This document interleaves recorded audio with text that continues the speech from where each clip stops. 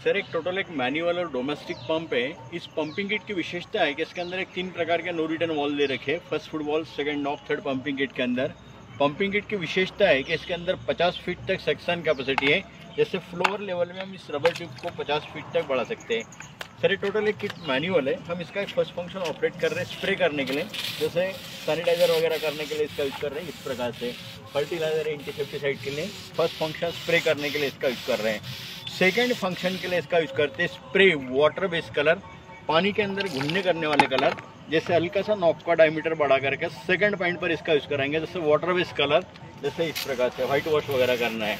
ये इस प्रकार से या जस्ट मुझे टू व्हीलर या फोर व्हीलर वॉश करना है। एक कंप्लीट एक गाड़ी के ऊपर जैसे, जस्ट हम इसको गाड़ी अगर वॉश करना चाहते हैं तो गाड़ी के ऊपर पूरा एक शैम्पू वगैरह फिक्स करके, जैसे टू व्हीलर या फोर व्हीलर वॉश करने के लिए इसका यूज़ करते हैं। आइए सर देखेंगे गाड़ी वॉश करने के लिए हम इसका यूज़ करते हैं। मात्र एक बकेट पानी के अंदर four wheeler two wheeler wash कर सकते हैं। जस्ट में इसको गाड़ी पर पूरा शैम्पू वगैरह फिक्स कर देंगे इस प्रकार से।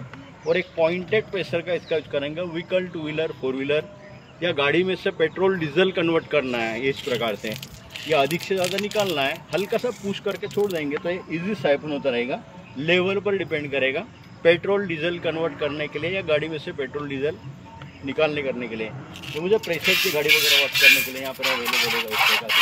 तो कम पानी के अंदर गाड़ी वॉश करने के लिए इसका करेंगे इस प्रकार से। सेकेंड फ्लोर तक जैसे मकान का एलिवेशन वॉश करना है, जैसे इस प्रकार से सेकेंड फ्लोर तक हम इसका यूज़ कर सकते हैं। गाड़ी वगैरह सर्विसिंग करने के लिए या वॉल पेंटिंग वॉश करने के लिए, या बच्चे लोग होली की पिचकारी के लिए भी इसका यूज़ कर सकते हैं, इस प्रकार से।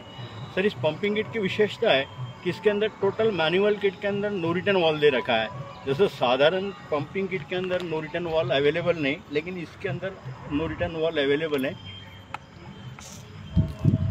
जैसे, जस्ट लाइक एक होली की पिचकारी के लिए रिक्वायर कर रहे हैं तो बच्चे लोग कहेंगे, दादाजी के हाथ की पिचकारी है।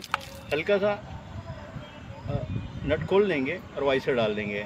जैसे हमारा टू व्हीलर या फोर व्हीलर के अंदर ब्लॉकरिंग वर्क करता है, उसी बेस पे बना हुआ है।